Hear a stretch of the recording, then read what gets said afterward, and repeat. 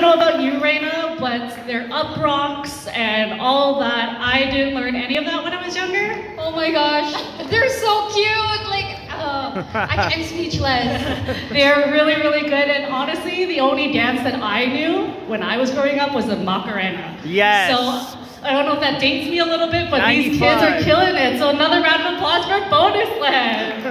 Macarena.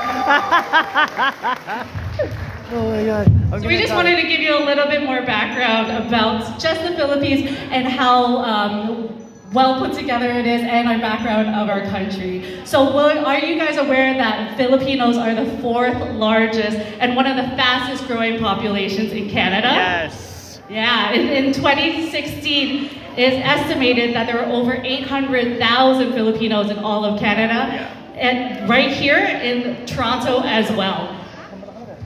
The Philippines is an archipelago of 7,641 islands in the Western Pacific Ocean that occupies 300,000 Square kilometers. Yeah, square kilometers. I didn't see that.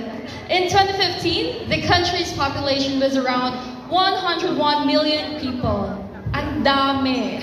It is a beautiful country, which is obviously ang daming magaganda at ang popogi, di ba? I'm not being biased, but anyways, in 2015, the country's population was around. Oh yeah, I read that already. Sorry about that. It is a beautiful country full of beaches, delicious food, and so much more. You can go and visit one day. And absolutely, and as as you might know, uh, the winners of the Miss Philippines Canada, Little Miss Philippines Canada, also have the opportunity to visit as well, so they get that background.